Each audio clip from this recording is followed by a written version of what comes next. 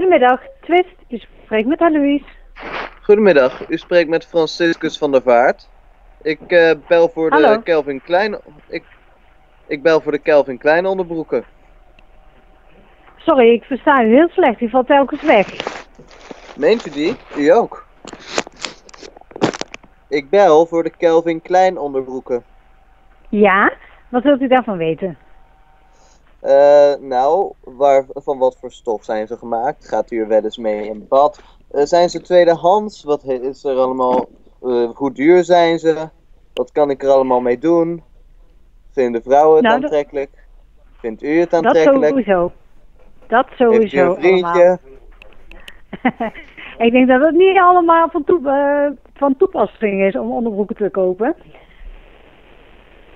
Maar als u op de site kijkt, kunt u alles vinden wat betreft de artikelen. Ah, Oké, en mag ik u nog wat vragen? Ja. Heeft u een vriendje? Sorry, ik versta u echt niet. U valt weg. Bent u getrouwd? Ik denk dat het helemaal niet van het belangrijk is. Eh, misschien wel. Dat denk ik niet. Ja, maar als ik onderbroeken wil kopen, wil ik graag weten of u getrouwd bent. Nou, eh, nee.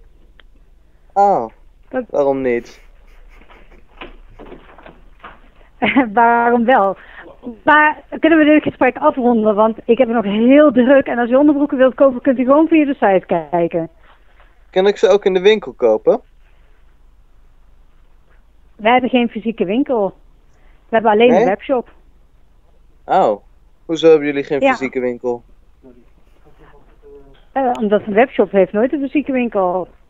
Oh. Nou ja, enkele wel, maar wij niet. En vertel eens, is dit als, een- doet u dit als bijbaantje of vaste baan?